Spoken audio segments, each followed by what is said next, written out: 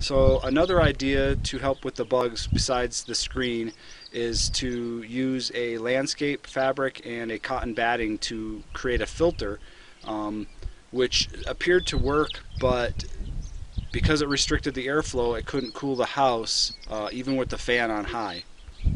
And so the, because it couldn't cool the house um, I'm going to take this stuff off and put a net on or screen and what I realized is that this was actually a really bad idea.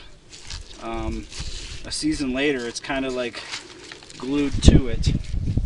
So I'm gonna have to scrape all this off before I can put the net in. Last time I used a black screen that was for garage, and this time I am using a mosquito net. See how it uh, holds up.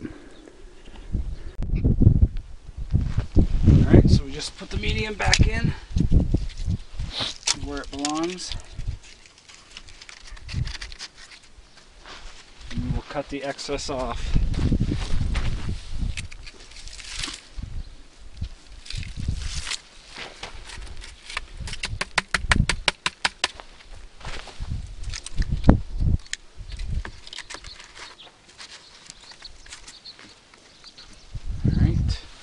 So here it is all done. Um, I think it looks alright. I used a utility knife to cut off the excess on the screen because the scissors just wouldn't cut it. So we'll find out how long it lasts and uh, if it keeps the bugs out.